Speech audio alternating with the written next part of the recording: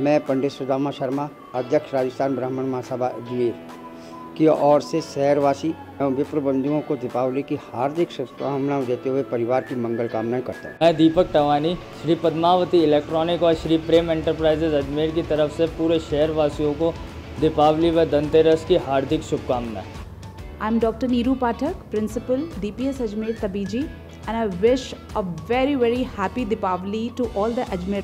Shri Kubera collection की तरफ़ से सभी अजमेर शहर वासियों को दिवाली की हार्दिक शुभकामनाएँ। सदगुरु ग्रुप की तरफ़ से अजमेर शहर वासियों को दीपावली की हार्दिक शुभकामनाएँ। May goddess Lakshmi fulfil your all dreams come true wish you a very happy Diwali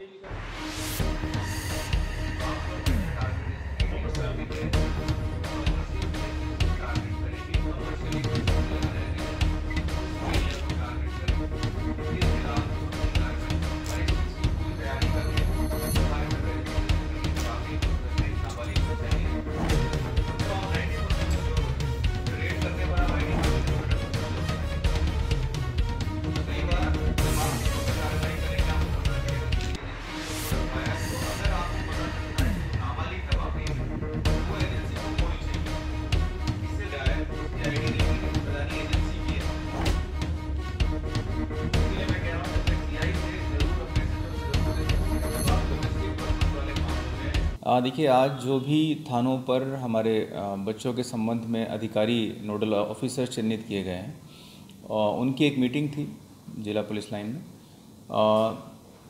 operation Asha शुरू हो रहा है उसके संबंध में उन्हें ब्रीफ करने के लिए ऑपरेशन आशा क्या है उसके बारे में उन्हें बताने के लिए और उसमें किस प्रकार से कार्रवाई करनी है आ, उन सब चीज़ों के बारे में उन्हें बताने के लिए ये मीटिंग रखी गई थी। ऑपरेशन आशा क्या है?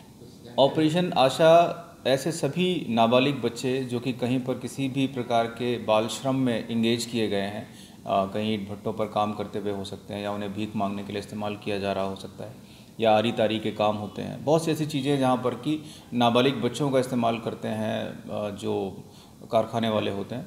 ये पूरी तरह से इलीगल है। जहाँ पर भी ऐसे कोई भी काम बच्चों से करवाए जा रहे हैं, उन्हें रेस्क्यू किया जाना है। और जो लोग उनसे ये काम करा रहे हैं, उनके खिलाफ मुकदमा दर्ज करके उनके खिलाफ कार्रवाई की जानी है।